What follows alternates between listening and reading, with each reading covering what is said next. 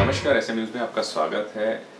हमारी बुद्ध सीरीज़ के अंदर हमारे तीन चार एपिसोड आ चुके हैं। सबसे पहले हमने बताया था कि बुद्ध क्या है, क्यों है, कैसे हैं, वो आप देख चुके हैं। और जिन श्रोताओं ने नहीं देखा है वो हमारे एपिसोड वन टू थ्री देख सकते हैं। आज हमारा चौथा एपिसोड आ रहा है और हमारे साथ है वही वक्ता जो धम की बात को बहुत अच्छे से बताते हैं सुधीर राज़ी सुधीर राज़ी आपका हमारे चैनल हमारे स्टूडियो में है। आज के लिए बहुत बहुत साधुवाद। नमस्कारों। जी बहुत बहुत धन्यवाद ठीक है?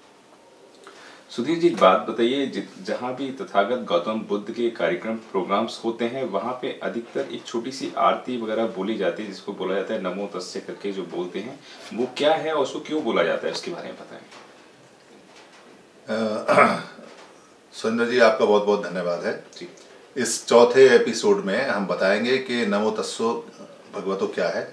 बेसिकली ये आरती नहीं है। जी। क्योंकि आरती हिंदी में जो शब्द है आरती का उसमें हम किसी की पूजा पाठ के सामने जो थाली लेके घुमाते हैं उसको आरती बोलते हैं या मिन्नत को आरती बोलते हैं। जी।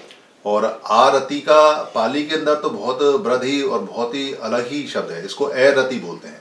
रति आप जानते हैं जैसे रति का मन है रथ होना। जी रति कीड़ा होती है उसी प्रकार से।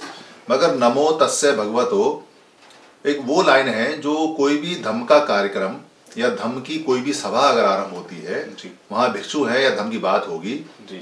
तो सबसे पहले ये तीन लाइन बोली जाएँगी। जी। नमो तस्य भगवतो अर्हतो सम्मा सम बुद्धस्य। एक बार फिर द्वितीयंपी दूसरी बार फिर तृतीयंपी तीसरी बार। नमो का मतलब है नम्र होना झुकना। इससे नमक्कार यानी नमस्कार भी बना हुआ है नमक को भी बना हुआ है नमती भी बना हुआ है। ये नमती जो शब्द है इसका मतलब है झुकाव होना झुकना नम्र होना। तस्य का मतलब है वह। यानी उसके लिए।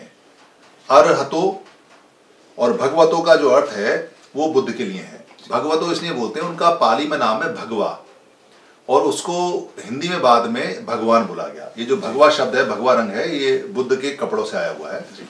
तो भगवतो यानी भगवा तो यानी उन भगवान को।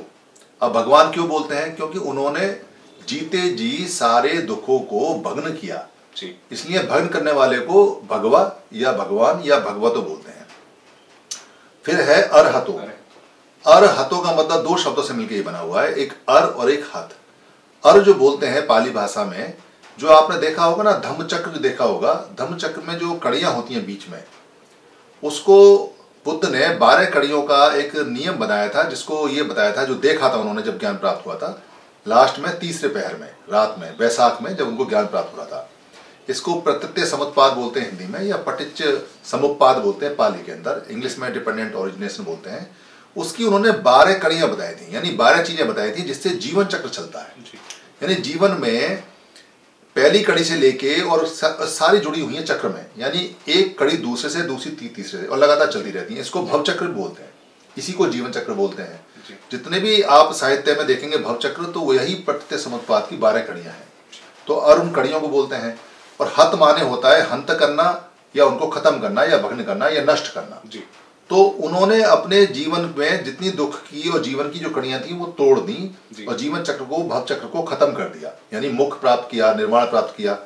इसलिए अरहतो यानी ऐसे व्यक्ति को जिन्होंने ऐसा किया। उसके बाद आता है सम्मा सम बुद्ध से सम्मा सम सम्मा माने होता है बिल्कुल ठीक और बढ़िया एक साथ सम्मा सम बुद्ध से यानी कि ऐसे बोधि प्राप्त करने वाले व्यक्ति के लिए नमस्कार करते हैं तो उनकी क्वालिटी को उस व्यक्ति की क्वालिटी को जो बुद्ध के नाम से जाती हैं नमस्कार करते हैं एक बार मन से दूसरी बार वचन से और तीसरी बार कम से और ये इसलिए बार बार याद करते हैं कि हम उन जैसे बने और बाकी लोग भी उनसे प्रेरणा लेके उन जैसे बनने की कोशिश करें। धन्यवाद। आप थे सुधीर राज जी जो धर्म की बात को बहुत अच्छे से बताते हैं, अगर आपका भी कोई क्वेश्चन है, तथागत गौतम बुद्ध को लेकर और आप भी जानना चाहते हैं, उनके बारे में तो आप हमारे डिस्क्रिप्शन बॉक्स में या हमें कमेंट बॉक्स में लिख के बताएँ और हम वो क्वेरीज आपकी पूरी करेंगे। गौतम बुद्ध से रिलेटेड होनी चाहिए सिर्फ़ वो। और हमारे इस वीडियोस को लाइक शेयर सब्सक्राइब करना बिल्कुल ना भूलें। बिकॉज़ ऑफ़ रीज़न कि धम की बात जन जन तक पहुंचनी बहुत ज़रूरी है, क्योंकि धम ही है जो सबसे पीछे रह गया, जबकि देशों विदेशों में सब जगह बहुत आगे है, लेकिन भारत देश के अंदर ही सबसे पीछे रह गया है। हमारे चैनल से बात करने के लिए आपका बहुत बहुत साधुवाद। धन्यवाद।